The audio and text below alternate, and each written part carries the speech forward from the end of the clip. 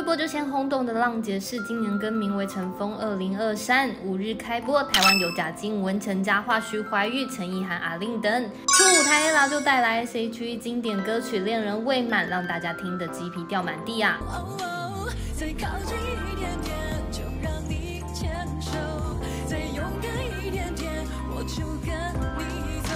访问时提到，S.H.E 时期有姐妹一起，现在没有伙伴，有点孤单，甚至出现自我质疑，怕大家不认识她之类的，透露出压力很大。还好工作人员都一直说好喜欢她，才让 ella 有点放心。演出后，ella 也难掩激动情绪的说，S.H.E 今年出道将满二十二年了，回想第一次的舞台，真的百感交集。而节目首播后，讨论度满满，大家对于 ella 带来恋人未满是又惊又喜，直呼真的是回忆杀啊。不过也有网友表。表是陈嘉桦、蔡少芬、谢娜的组合真的好吵，还帮他们特制了搞笑梗图。